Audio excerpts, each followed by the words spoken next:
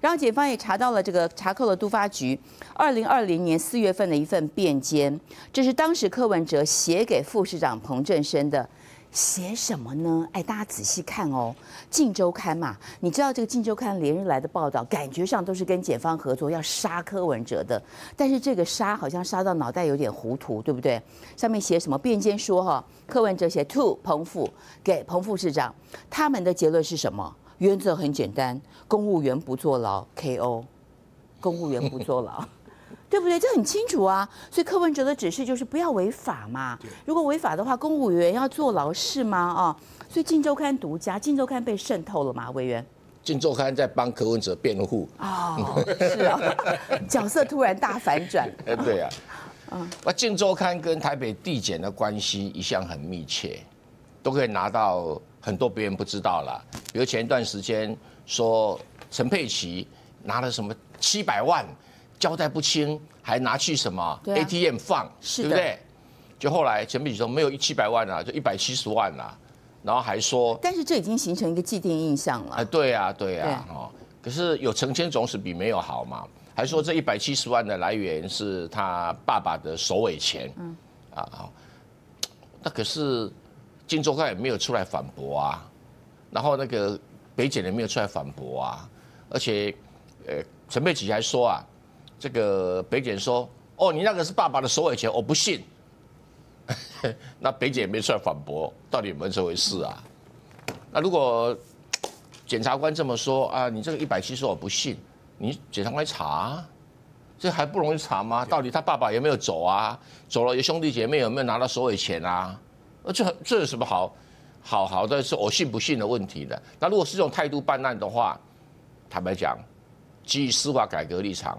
很多人对，哎哎，委员，我觉得中间有没有一些法律责任呐？因为这个案子在侦办当中因为检察不侦查不公开的意思，就是检察官不可以对外泄露秘密嘛。现在显然在带风向嘛。对，所以你想想看，以前有黄世明检察总长稍微泄露给马英九的话，黄世明就被抓去关了，不是吗？那现在你这个台北地检整天泄露给《镜周刊》，算《镜周刊》的通天本领，有人要泄露给他，他为什么不登？其实怪《镜周刊》没有意义啊。为什么有人泄露给他？那调查局、监察院还有这个司法院，法务部要被调查一下，谁泄露给《金周刊》的？现在可以用一些手段来禁止这种行为吗？当然可以啊，多年来就是这样的。以前是周玉蔻，现在是他们已经习惯了。可是侦查不公开的意思是说，检察官不可以泄露侦查的资料嘛？不然黄世明抓去关什么？他是对你不公开，对他的人公开，对嘛？这样就不对了嘛。所以我是觉得法务部也好，司法院、监察院、立法院都要就这个事情进行调查，啊，进行了解哈。那可能他。急忙之间弄昏头了，比如说那个便签，那便签不是对柯文哲非常有利的吗？嗯，啊，非常有利的一个。他的意思是说，你看柯文哲真的有指示这个彭彭副市长内容内容是告诉他说你不要违法。他只要看到便签他就很乐。你看柯文哲真的有指示。还有刚才那个高院的裁定，我们拿出来看一下。对，刚刚来导播，好，刚第一张哦，高院的那个裁定书。来拿出来看一下，裁定书哈，我跟大家说明一下哈。对，你刚才讲的有没有有没有有没有？有听到吗？有没有听到？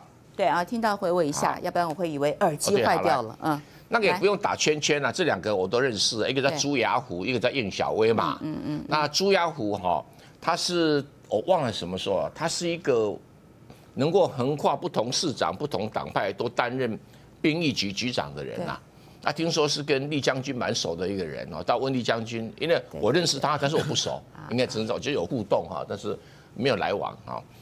然后他跟殷小薇的对话记录啊等等，这跟什么？这跟沈信金行贿有关系？那你要证明说这个钱有没有到什么？有没有到柯文哲身上？导播，你右边画面应该要放这张，因为我原先在讲这张，好不好啊？因为你就是要证明说。这个沈庆京啊，有拿钱给应小薇啊，或者是透过朱亚虎干，可朱亚虎也没有被收押，也不是当事人，都没有，问完就走了。所以你去谈这有什么意义吗？哦，对，朱亚虎有，到现在有没有有没有被收押，有没有被限制都没有啊？对，对，那你谈这有什么意义呢？对，那你如果说朱亚虎真的有问题，你现在现在把朱亚虎抓来当证人嘛？嗯，或者扣押下来当当这个相关，你也没有啊？那没有以后就是说。哎呀，对本案情节毫无所悉，跟前面无关呐。对，你讲前面老半天，我不晓得高院的这个裁定是怎么写的。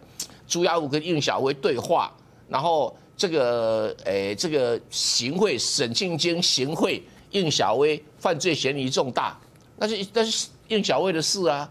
然后后面来转折一下，说被告主张，诶，这个他他没有那个专业理解这个都委会的决议。啊，所以毫无所惜，能有救命的之必要。你是你在问说，哎，你到底知不知道？你有没有专业？要不要都跟他考卷考一考？柯文哲说，你到不知不知道那个奖励奖励容积率怎么算的？我跟你讲，大部分都不会算。好，因为那个是比较专业呀。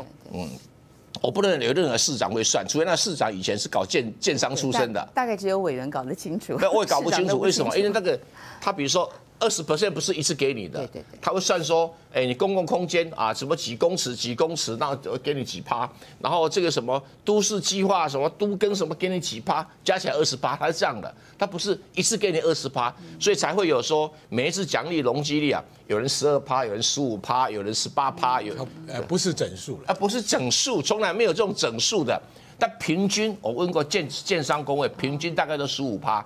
那你说，哎呀，他都给了五趴，所以这图利最后我我也听不太下去，对不对哈？但是如果说你柯文哲有收钱，那那你柯文哲绝对不对，就是你给好处给老百姓，你也不可以跟老百姓收钱，哦，这是受贿行贿的嘛，哦，那所以他讲的是说救民的必要啊，然后这个原审就是地方法院，台北地方法院没有就检察官提出的全部市政以综综合评价，到底是。这个检察官的全全部市政原审都没有综合评价，就是好像有漏掉什么东西没考虑啊。然后这个好吧，就考虑吧，这也没什么没什么好找争论的。然后拒任检察官为四名被告反以犯罪嫌疑重大，就检察官没有把柯文哲犯什么罪，有什么基本的证据给说清楚，那所以要求说你再弄一次弄清楚。不过这个。有点草率了，平常讲，我是觉得这样的一个裁定有点草率，没关系啊，我们就照法律程序来嘛，哈。那法律程序就是说要再开一次台北地方法院的羁押庭，那这个时候台北地检跟柯文哲跟柯文哲律师就要在对簿公堂再讲一遍吧。所以郭正亮是告诉柯文哲说少说话，外庭外少说话，为什么？因为前车之鉴，这个郑文灿哈，我觉得他有听进去。郑文灿哈。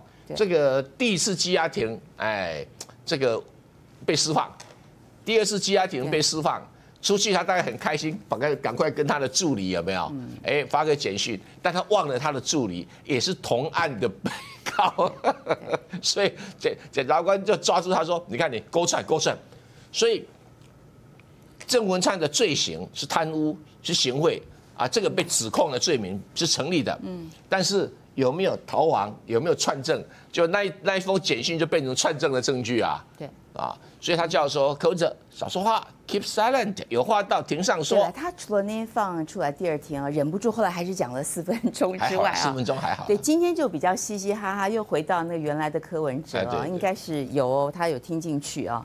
那当然这个呃。《镜周刊》的角色是什么？我觉得这个引发了很大的质疑，因为连日来成篇累读都是用独家的形式，然后你就发现来绿媒啊，来绿媒的报道也丢出来给我看一下，就好像不知道《镜周刊》变成了统一发稿中心，或者是说，呃，这个检方变成了发稿中心啊。好，《镜周刊》一登，你看各个媒体开始引用，都用的是肯定句哦，好，肯定句。早知道送金华城怎样，今天查获什么什么的，他都是用肯定句。有没有？通常我们媒体如果说是，哎，你采访的不是太肯定，你会用个传疑，或是加个问号，他都用肯定句来报道。所以，请问一下，北检站出来，北检你在违法，在做违法的事哦，小心被关哦，哈。然后这个他他一报道之后，有没有绿云新闻台就开始哇，一个一个的哦。当然，这个绿媒胆子比较小，都会打问号，这比较像是一个这个正常的操作。那所以从这个中间的脉络，你就会看到柯文哲讲的。这是个政治案子，是不是有这种感觉？中央统一发稿中心 又来了啊！好，来回去之后呢，我们稍后来看一下。当然，这个民众党也开始讲嘛，这个辩奸是真的吗？如果是真的，这是被监给特定媒体，但是检方办案办到昏。那柯文哲的辩奸很简单，告诉你不能违法，公务员不能坐牢啊，对不对啊？